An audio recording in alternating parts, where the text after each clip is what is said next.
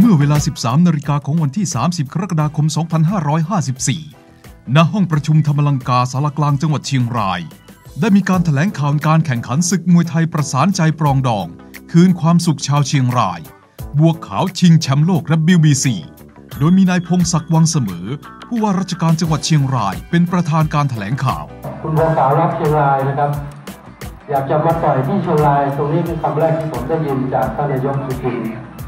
ท่านบอกอย่างนี้ผมเองโอ้โหอย่างนี้ก็ชาวเชียงรายเองคงได้มีโอกาสมีความสุขความตื่นเต้นนะครับ จากการจัดรายการมวยที่ถือว่าเป็นรายการมวยที่เป็นยอดฮิตนะครับ โดยจะจัดการแข่งขันขึ้นในวันที่ 15 สิงหาคม เวลา 14นาฬิกาเป็นต้นไป ณ หอประชุมใหญ่มหาวิทยาลัยราชภัฏเชียงรายสำหรับพวกเขาก็คงอยากเต็มที่นะครับในการชกบนเวทีให้ทุกคนได้ชมฝีมือแล้วก็อ่าศิลปะแม่ไม้มวยไทยนะครับ อย่างเต็มที่ เป็นความสามารถของบัวขาวอย่างแน่นอน